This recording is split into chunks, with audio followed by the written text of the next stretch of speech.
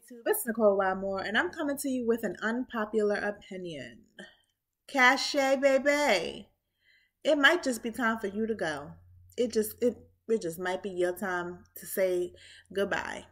Because the way that you was running behind Cinco, having two and three conversations about the same thing, and him just not being sure, giving you that same thing he was giving you before, no ma'am no ma'am that don't work for me. And trina uh you over there crying with no tears? I'm over you. I've been over you. I've been over you. I've been over you since you were running behind Cashay trying to get her leftovers.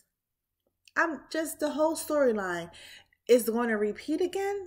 That's what we doing? Well there's wes? You got rid of wes? That was a viable candidate you got rid of Giovanni. Giovanni was just freed from his non existent relationship with Olivia. I just, I don't know what y'all are doing, and it's really annoying, and I'm kind of disgusted, and I'm ready to move on. So if this doesn't pick up, I don't know. You're going to lose a lot of people, Love Island.